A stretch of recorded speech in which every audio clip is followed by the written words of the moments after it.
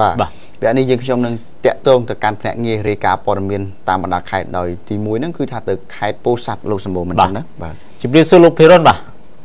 បាទជំរាបសួរលោកសុខៈនិងលោកសម្បូរបាទបាទលោកភិរុននៅព្រឹកនេះពីខេត្តពោធិ៍សាត់តើមានព័ត៌មានអ្វីរាយការណ៍បាទបាទព្រឹកនេះគឺខ្ញុំបានមានព័ត៌មានមួយទៅរកាគឺពាក់ព័ន្ធនឹងធ្វើគោលនឹងកបីនេះបង្កភាពកញ្ញាថ្ងៃ បាទរៀងរាល់ថ្ងៃនៅលើផ្លូវលេខ54បាទយ៉ាងម៉េចទៅបានជាគោកបីដែលគ្មានម្ចាស់ដើររញ៉េរញ៉ៃហ្នឹងបាទសូមលំអិតព័ត៌មាននេះខ្លីមកបាទបាទសត្វគោនៅកបីរកសត្វក្បាលដែលកំពុងតែដើរទាំងវងដូចឃើញក្នុងរូបភាពនោះគឺនៅលើផ្លូវជាតិលេខ54ដែលបង្កភាពរញ៉េរញ៉ៃពេញទាំងផ្លូវជារឿងរាល់ថ្ងៃដែលធ្វើបាត់បង់សម្បត្តិធ្នាប់យ៉ាងខ្លាំងមកលោកសម្បូរបាទជាផ្សេងអ្នកអ្នកដែលធ្វើដំណើរ ទៅឆ្លងកាត់មានការជន់ជ្រុនពិបាកនឹងគិតនឹងបុគ្គលកបីទាំងនោះបាទលោកភិរុនគោភិជារញ៉េរញ៉ៃនៅតំបន់ណាបាទនៅនៅទីក្រុងពូស័តតែម្ដងឬក៏នៅកន្លែងណាបាទបាទនៅនៅទស្សនៈ4គឺទីចំណុចផ្លូវនេះវាសបជាប់ពីផ្លូវចិត្តលេខ5ស្រុកកកនទៅទៅឃុំកំពង់លួងបាទមកទឹកឃុំកំពង់លួងបាទបាទហើយតើមានបានដឹងថាម្ចាស់ គោគេនឹងយ៉ាងម៉េចបានគេលែងហើយគោនឹងគេចិញ្ចឹមនៅក្នុងជាកសិដ្ឋានឬក៏យ៉ាងម៉េចបាទគ្រូសាផ្ទះបាទបាទបាទតាមប្រជាបរតនៅក្នុងហ្នឹងគាត់ថាគោហ្នឹងម្ចាស់មានពីរបីនាក់ទេបាទម្ចាស់គោហ្នឹងបាទហើយហើយសូមជែកផងថាផ្លូវហ្នឹងគឺអឺទេសចរគឺទេសចរបរទេសគេតែនេះចុះអត់លស់ណាស់ទេបាទចុះលេងហ្នឹងមានប៉ះប៉ះពាល់ដល់ខាង ទេសចររបស់ដែរបាទគាត់គេមើលមកវាអត់ល្អមើលទេបាទគាត់ដើរគេរៀនរាល់ថ្ងៃនិយាយថ្ងៃទាំងព្រឹកទាំងញ៉ៃចឹងបាទបាទលោកភិរុនមានបានសាក់សួរទៅអាជ្ញាធរទេហើយអាជ្ញាធរទៅធ្វើការជូនដំណឹងទៅដល់ម្ចាស់គោក៏ដូចជា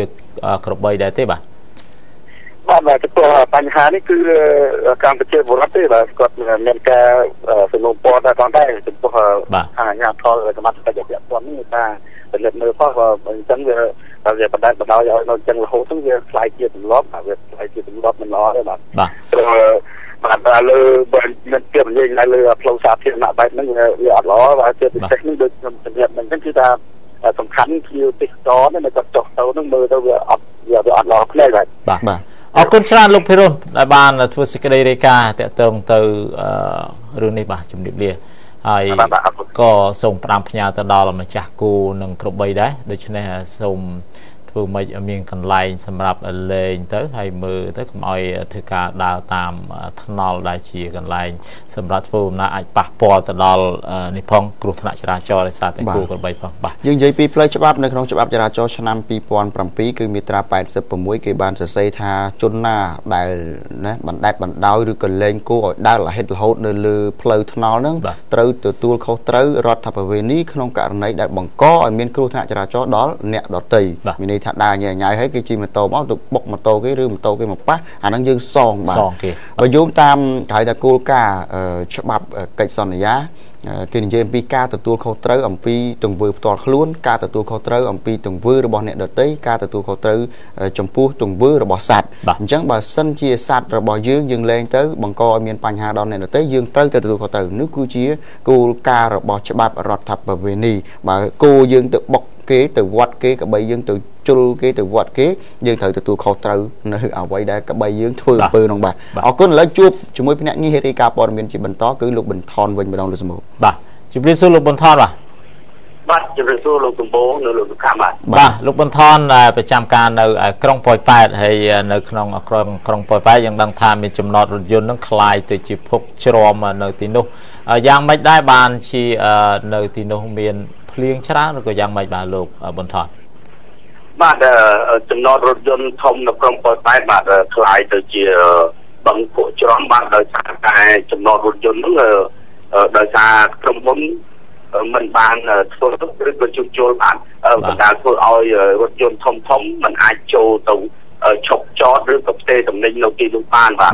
រថយន្តធំទាំងអស់នោះតែងតែឈប់ចត យ៉ាងអនាធិបតេយ្យនៅតាមដងផ្លូវតែយ៉ាងណាក៏ដោយលោកបាទហើយបុគ្គលិករបស់ក្រុមហ៊ុនចំណតរថយន្តរបស់លោកផានតំណថានោះគឺបាន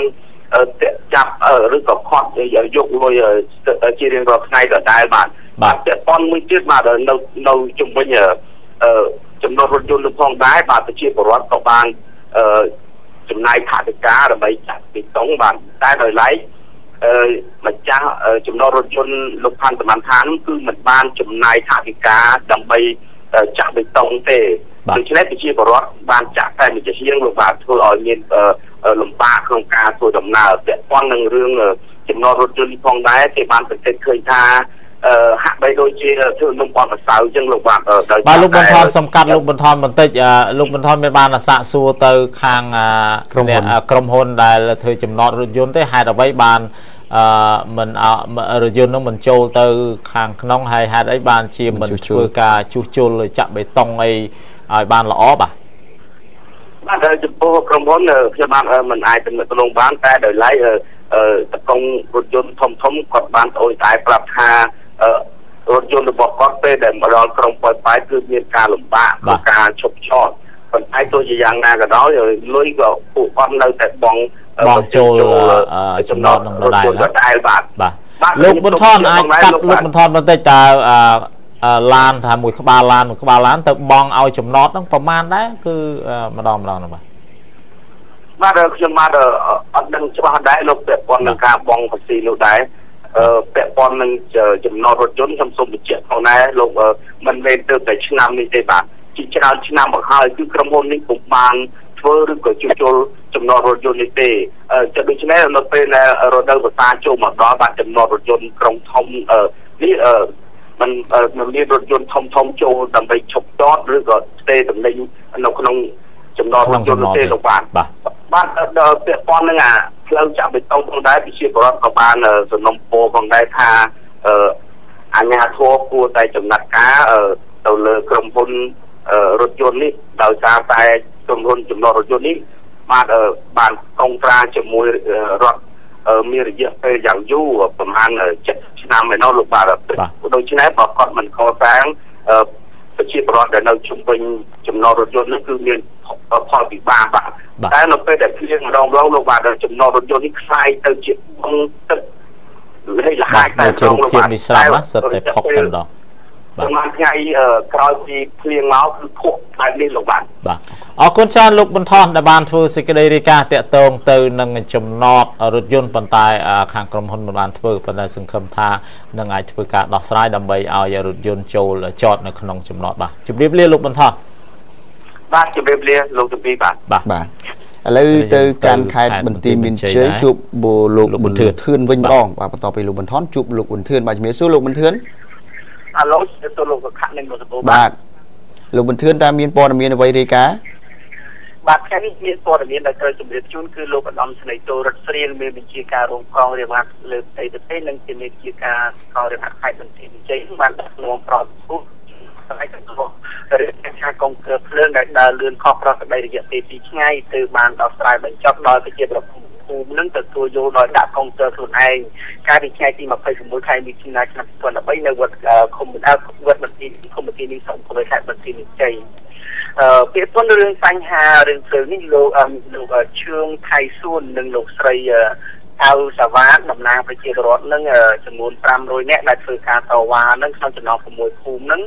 បានលើកឡើងថាបញ្ហាទំនាស់រវាងកុងទ័រដែលដើរលឿនខុសប្រក្រតីក៏ដូចជាពាក្យថាគេដូចជាដើរលឿនដោយកីឡាអូឡ িম্প ិកនោះហើយគឺមានការ ក៏ឡើងរហូតដល់មានបញ្ហាភ្លើងហ្នឹងមានការឡើងទ្វេ1ជា2រហូតដល់មកទ្វេ1ជា3នោះគឺពួកគាត់មិនអាចទទួលយកបានតែមួយទៀតដែលថាអ្នកមកការភ្លើងហ្នឹងប្រើសម្ដីមិនគួរឲ្យអាចទទួលយកបានទៅប្រជាពលរដ្ឋហ្នឹងមកបានធ្វើពាក្យបណ្ដឹងអ្នកមកការភ្លើងគេបានស្គាល់ថាលោកសុកវិទិត ដែលនៅមកការនៅក្នុងគុំទានាងនឹងហើយក៏លោកបានសំណូមពរសូមឲ្យខាតយ៉ាងណាការដំណោះស្រាយនេះសូមឲ្យដកអភ័យឯកសិទ្ធិអ្នកមកការនឹងប្រគល់ជូនរដ្ឋឬក៏ប្រជាពលរដ្ឋនឹងសំណូមពរសូមឲ្យដាក់កងទ័ពនៅខ្លួនឯងឬបើថាដាក់ខ្លួនឯងក៏ប៉ុន្តែសូមឲ្យលោកសុវិទិននេះជាអ្នកគ្រប់គ្រងដដែលបាទឥឡូវលោកបញ្ជូនទៅនិយាយពីលទ្ធផលវិញម្ដងតើតើដោះស្រាយរបៀបម៉េចដែលមានអាដាមរដ្ឋស្រៀងអញ្ជើញទៅនោះបាទបាទ ខ្ញុំសូមជម្រាបដែរពាក្យប៉ុណ្ណបញ្ហាដំណោះស្រាយនេះលោកឧត្តមស្រីតូរតលោកបានជម្រាបថាបើមានការណែនាំពីឧបកែកម្យានក៏ដូចជាឯកឧត្តម អឺឧបខ្ញុំចៃលីបាននាំបានអោយចាត់នាំមន្ត្រីជំនាញនេះទៅធ្វើការដោះស្រាយរយៈពេល2ថ្ងៃគឺចាប់ពីថ្ងៃទី25ដល់ថ្ងៃទី26នេះដល់ប្រជាពលរដ្ឋទទួលយកថាបញ្ហាដំណោះស្រាយនេះក៏ទទួលយកធ្វើយ៉ាងណាឲ្យគាត់សុំដាក់ភ្លើងដោយ